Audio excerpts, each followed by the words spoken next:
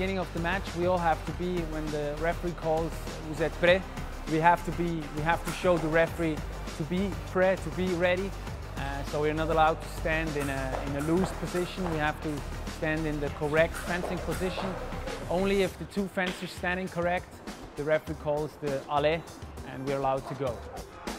On guard. Three. Allez.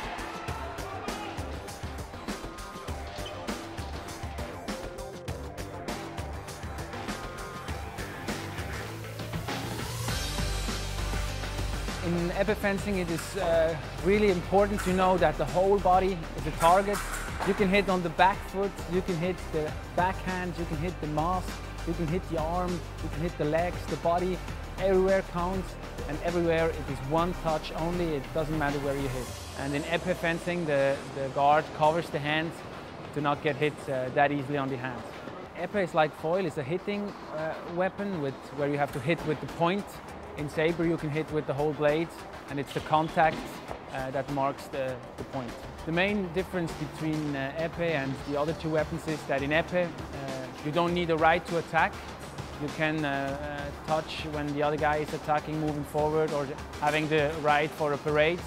Uh, it is as simple like in real life, if you get hit first, you lose. If you hit first, you win. So this makes it uh, uh, tactically very important. Maybe in épée fencing, sometimes fencers wait really patiently for the right moment for this one touch only. There is no connection with the, with the cloth because you can hit everywhere.